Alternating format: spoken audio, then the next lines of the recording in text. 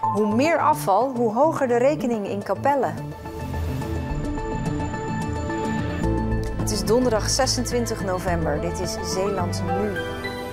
Betalen per keer dat de kliko geleegd wordt. Middelbaar beroepsonderwijs boos op minister. 1 op de 9 Zeeuwen slachtoffer cybercrime. Dag dames en heren. De vervuiler betaalt vanaf volgend jaar in Capelle. De gemeente voert als eerste in Zeeland het zogenoemde DIFTAR-systeem in. Dat betekent dat de vaste afvalstoffenheffing omlaag gaat en dat er per keer betaald wordt voor het legen van de grijze bak. Met als doel een betere afvalscheiding.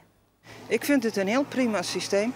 Zo gaan we toch bewust om met ons afval. Sinds eh, de scheiding van de afvalstoffen, plastic en de groenafval, gaat inderdaad de grijze bak veel minder voorgezet worden. Uw eh, dochtertje staat naast u eh, met de fiets en u heeft nog een kinderwagen aan de hand. Die vuilnisbak zit wel vol, denk ik zo. Ja, die zit elke twee weken bomvol. Denkt u dat u voordeel van deze regeling gaat krijgen? Nee, daar hebben wij geen voordeel van. De rekening gaat bij deze laatste mevrouw dus niet omlaag door Diftar, maar ook niet omhoog, zegt wethouder Evert Dame. Dat is niet de bedoeling. Ik heb gezegd ik wil dit gaan invoeren zonder dat dat uh, kostenverhogend gaat werken voor mensen uh, als ze niks zouden doen. Maar gaat men daar wel goed uh, rekening mee houden, dan betekent dat ze de bak minder vaak aan de straat hoeven te zetten. En dan levert dat financieel voordeel op. Dat gebeurt niet als er één bak per jaar minder aan de straat wordt gezet. Maar vanaf zo'n vijf bakken gaan de inwoners van Capelle dat terugzien op de factuur. De gemeente hoopt dan ook dat mensen zoveel mogelijk afval gaan scheiden, zodat er zo min mogelijk in de grijze container terechtkomt. Dat is het doel. Uh, bij ons in de grijze bak zit uh, 40% GFT-afval. Daar zit bijvoorbeeld 12% uh, kunststofmateriaal in. Dat is al de helft van de grijze bak. En dat zijn zaken die kunnen we prima hergebruiken. En op dit moment worden ze verbrand. Dus daar moeten we iets aan doen. En dat is de reden waarom wij dit DIFTAS-systeem willen invoeren. En in Capelle is verslaggever Niels Schuurbiers. Ja, Niels, betalen dus iedere keer dat je die grijze bakken aan de straat zet. Is de gemeente nou niet bang dat mensen hun afval ergens anders, bij een milieustraat bijvoorbeeld, gaan lozen? Nou, daar is in ieder geval wel aan gedacht. En ik heb ook wel een paar bewoners gesproken die daar bang voor zijn. Van, gaan wij nou andermans vuil overal tegenkomen, zodat het maar niet in die grijze container belandt. De gemeente heeft wat voorzorgsmaatregelen genomen. Zo hebben ze bijvoorbeeld op de Milieustraat van Goes een nulmeting gehouden... om te zien hoeveel mensen uit de gemeente daar nu al hun vuil naartoe brengen. En het is natuurlijk de vraag of dat, dat gaat toenemen... zodra DIFTAR hier helemaal is ingevoerd. Ja, nou is Capelle de eerste. Hoe zit dat met de rest van Zeeland? Ja, Capelle is dus de eerste in Zeeland, maar het is niet iets nieuws in Nederland. In Hengelo bijvoorbeeld hebben ze het al een tijdje. En daar was in het begin heel veel weerzin tegen dat DIFTAR, die gedifferentieerde tarieven. Maar dat appte eigenlijk weg hoe langer dat mensen met dat systeem bezig waren, omdat ze zagen dat het gewoon werkte. Ja, en jij sprak dus een aantal mensen, dat zagen we net al. Weten ze in Capelle allemaal wat hun boven het hoofd hangt? Nou, de inwoners die ik heb gesproken, die waren allemaal eh, bijzonder goed op de hoogte van uh, wat er hier gaat gebeuren in uh, Kapels afvalland.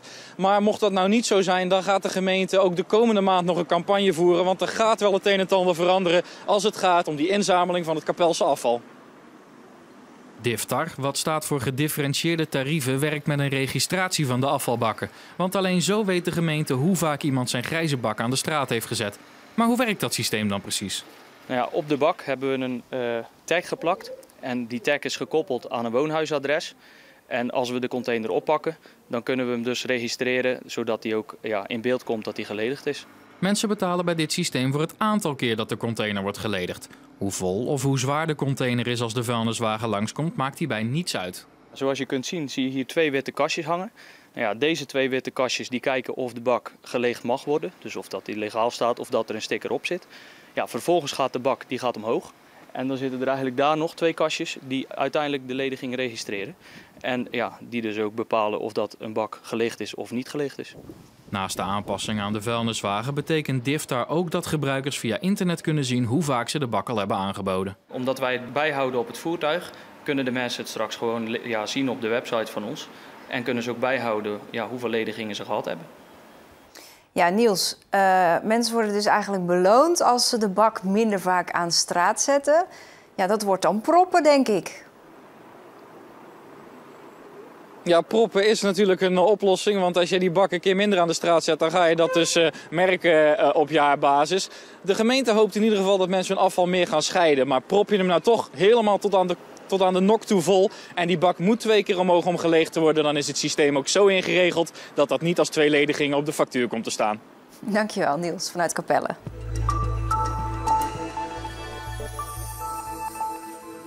Bij de middelbaar beroepsonderwijsinstelling Scalda is het plan van minister Jet Bussemaker als een bom ingeslagen. Zij wil dat de scholen voor middelbaar beroepsonderwijs weer kleiner worden. Bussemaker heeft zonder overleg met de scholen een voorstel gemaakt. Ze wil af van de mega-scholengemeenschappen en weer terug naar kleinschalig middelbaar beroepsonderwijs, dat een betere kwaliteit brengt. Dat betekent niet dat de klassen kleiner worden. De minister wil dat bestuurders alleen nog maar besturen en directeuren alleen maar met het onderwijs bezig zijn. Ik denk dus dat bestuurders juist uh, met hun voeten in de klei zouden moeten staan, met een goed Zeeuws spreekwoord. En juist heel veel verstand zouden moeten hebben van onderwijs. En bij hun besturen onderwijs, huisvesting, financiën, al die dingen samen moeten bekijken. Dus ik denk dat de minister hiermee de plank mislaat. Opnieuw brand in het leegstaande badhotel Veerse Meer in Arnhemuiden. De politie gaat ervan uit dat het is aangestoken. Begin van de maand brandde het oude hotel al voor een groot deel uit en ook toen vermoedde de politie brandstichting. Er werd een onderzoek gestart naar een mogelijk verband met andere branden in leegstaande panden. Sinds augustus zijn er in totaal zes van dit soort branden geweest in Zeeland. Het onderzoek daarnaar is in volle gang. Zeeuwen staan in Nederland op de derde plaats als het gaat om het indienen van schadeclaims na verkeersongelukken. Alleen Brabanders en Limburgers dienen nog vaker claims in bij hun verzekeringsmaatschappij. Gek genoeg is het zo dat hoe zuidelijker je komt in Nederland, hoe meer claims er worden ingediend na verkeersongelukken. De drie noordelijke provincies zijn het goedkoopst voor verzekeringsmaatschappijen. Jan Huisman gaat stoppen als burgemeester van Rijmerswaal per 1 mei. Hij is dan 11 jaar lang burgemeester geweest. Huisman wordt komend jaar 66 en gaat met pensioen. Hij zegt terug te keren naar Delfzijl, waar zijn familie woont. Een 30-jarige man uit Kortgene is aangehouden na een ongeluk van morgen. Een auto en een bestelbus botsten op elkaar bij Wilhelmina-dorp... op het kruispunt van de Deltaweg en de Lange Weg. Waarom de man is aangehouden is nog niet duidelijk. Bij het ongeluk raakte één persoon gewond en er ontstond een lange file.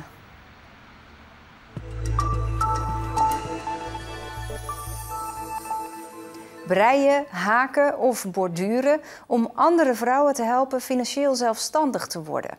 Dat is wat de handwerksters van vrouwenvereniging Tesselschade Arbeid Adelt doen. De Zeeuws-Vlaamse afdeling viert dit jaar het 25-jarig jubileum.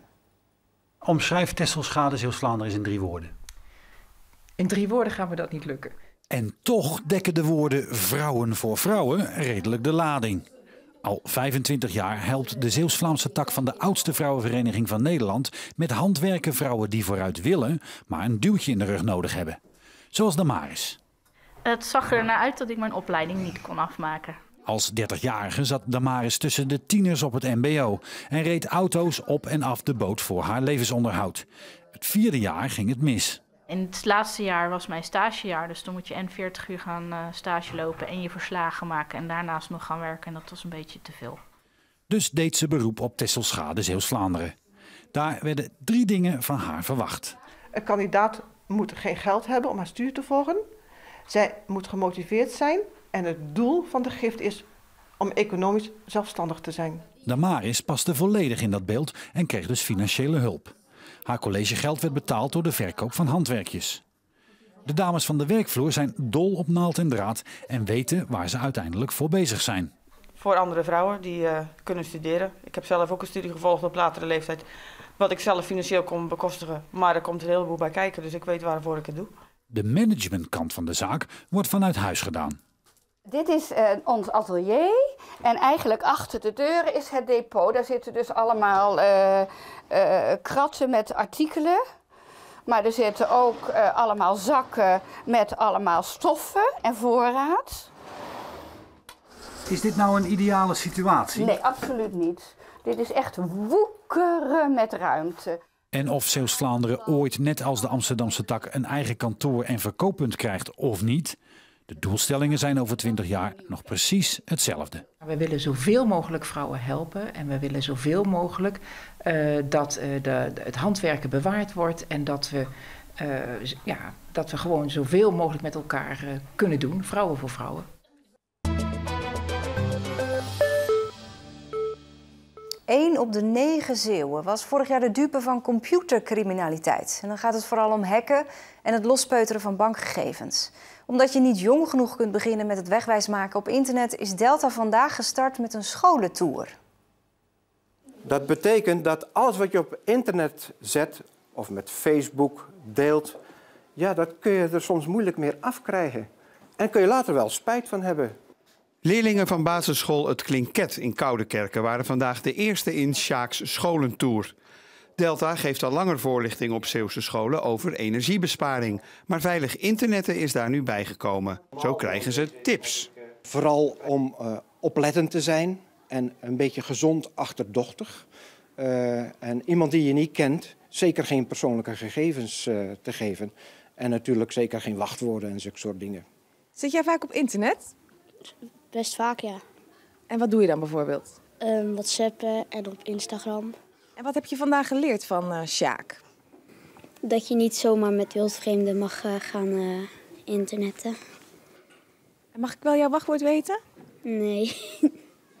wat kunnen kinderen nou doen als er toch problemen zijn op internet? Ja, aan hun ouders vertellen vooral. Bespreekbaar maken en eventueel hulp zoeken bij websites of officiële instanties. En wat heb je vandaag geleerd over veilige internetten? Uh, dat je niet zomaar je adres en persoonlijke gegevens moet geven.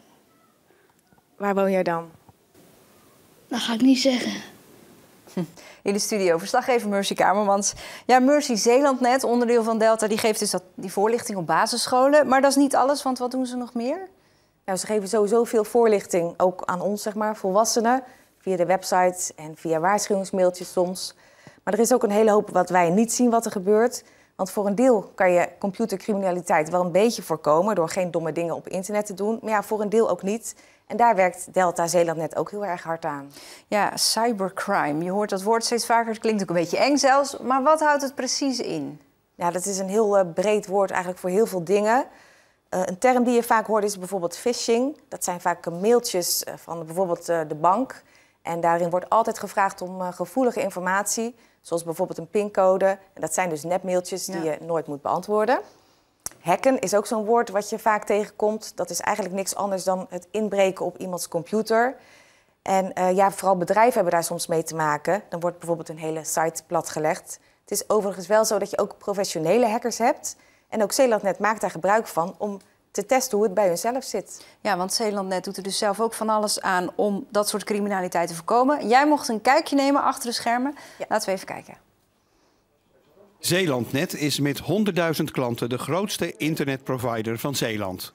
Dag en nacht houden acht medewerkers en vernuftige apparatuur in de gaten wat er op de servers gebeurt. En dat is nodig, want er komen dagelijks tientallen meldingen binnen van klanten met problemen. Mensen die een virus hebben gekregen of met een malwareprobleem zitten, of waarvan de computer uh, gekaapt is door hackers. Uh, mensen die ineens duizenden mailtjes op een dag gaan versturen, waarvan de computer crasht, waarvan de creditcardgegevens uh, gestolen zijn. Het is heel divers. Bij Zeelandnet zien ze een duidelijke tendens als het gaat om cybercrime. Internetcriminelen worden steeds slimmer. Je ziet dat uh, voornamelijk spammers, hè, die phishing mails die je krijgt, die worden steeds professioneler. Dus vroeger kreeg je een hele slechte mail in het half Nederlands-Engels. Maar tegenwoordig worden mails gewoon helemaal compleet nagemaakt. Of nepsites gemaakt die echt heel erg op de site van de bank lijken. Zoals onlangs deze brief van de Rabobank in omloop, die behoorlijk professioneel oogt. Hebben mensen nu nog vooral te maken met virussen en aanvallen op hun computer of laptop? Internetcriminelen zitten nooit stil. Ik denk dat er een verschuiving gaat naar je mobiel. Dus dat je virussen krijgt dan maar weer op je mobiel, uh, op je tablets. Dat is nu nog niet echt heel erg gangbaar. Dus ook daar moet je echt uh, veiligheidsprogramma's gaan gebruiken. Ja, jij hebt je nou een poosje hiermee bezig gehouden. Wat zijn nou jouw gouden tips voor de kijkers? Nou, de belangrijkste dingen zijn eigenlijk... laat niet overal je e-mailadres achter als daarom gevraagd wordt. Klik niet op elk mailtje waarvan je de afzender niet helemaal kent. Uh, kies voor een moeilijk wachtwoord, dus niet uh, welkom of zo, maar iets anders. En verander dat ook regelmatig. En ook heel belangrijk, zorg dat je goede beveiligingssoftware op je computer hebt. En update die ook regelmatig. Ja, zal straks zelfs dus voor je mobiele telefoon horen dat we al. komt er ook bij. Dankjewel, Mercy. Heldere blauwe luchten vandaag. Dat zorgde voor dit mooie plaatje. En toch viel er ook hier en daar een bui. Ook vanavond en vannacht neemt de bewolking weer toe. Deze foto is gemaakt in Wolvaartsdijk. En heeft u nou ook van die mooie weerfoto's? Stuur ze dan door naar ons. Wel op tijd, want anders halen ze de uitzending van 5 uur niet. Want we gebruiken altijd foto's van de dag zelf. Het weer voor morgen, bewolkt, in de loop van de dag wat regen. In het weekend wordt het wat zachter qua temperatuur. Dan vooral s'nachts regen en wind en overdag voornamelijk droog. En dat was Zeeland nu voor vandaag. Blijf kijken voor Zeeuwen in de East. Als je nieuwsgierig bent hoe het gaat als je de stap durft te nemen om te emigreren naar Azië. Tot later, een hele fijne avond.